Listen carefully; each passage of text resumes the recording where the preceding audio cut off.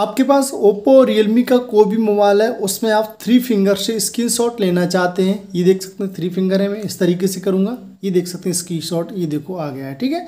तो आप किस तरीके से रियलमी या ओप्पो के किसी भी फ़ोन के अंदर स्क्रीनशॉट ले सकते हैं? आज की इस वाली वीडियो में आपको यही बताऊँगा। तो वीडियो को क्या करना है? लास्ट तक देखना है आपको। तो चलिए वीडियो को शुरू करते हैं। एक लाइक कर दीजिए चैनल को सब्सक्राइब कर दीजिए, जिससे मैं आपके नई वीडियो पब्लिश करूँ तो उसका नोटिफिकेशन सबसे पहले आपके फ़ोन में चला जाए।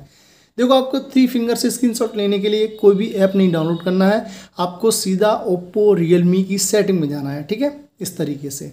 और यहाँ पे आपको इस तरीके से नीचे की तरफ़ चलना है तो मिलेगा एडिशनल सेटिंग या सिस्टम सेटिंग ठीक है? इस पर क्लिक करना है। अगर आपको ये सब कुछ नहीं मिल रहा है तो बताऊँगा आगे क्या करना है। तो यहाँ पे आपको स्क्रीनशॉट का ऑप्शन नहीं दिख रहा है तो मैं यहाँ से बैक जाऊँगा।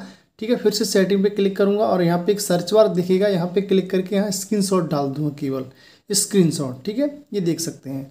तो स्क्रीनशॉट जैसे ही आप डालेंगे तो ये कन्विंस टूल के अंदर आपको मिलेगा स्क्रीनशॉट का ऑप्शन ठीक है? ये देख सकते हैं। यहाँ पे मैं ढूंढ लेता हूँ कन्विंस टूल ये देख सकते हैं कन्वेंस टूल इस पर क्लिक करना है। तो यहाँ पे आपको स्क्रीन शॉट का ऑप्शन देखिएगा इस पर क्लिक करना है। अब यहाँ पे ये ऑप्शन जो होते हैं, ये बंद हो सकते हैं। तो इन्हें आपको इस तरीके से तीनों ऑप्शन को ऑन करना है, ठीक है? स्क्रीन शॉट साउंड आप ऑन कर सकते हैं, बंद भी कर सकते हैं, ठीक है? तो इस तरीके से आपको अपने ओप्पो रियलमी के फ़ोन में कर लेनी होगी सेटिंग और थ्री फिंगर से इस तरीके से स्क्रीन हो जाएगा।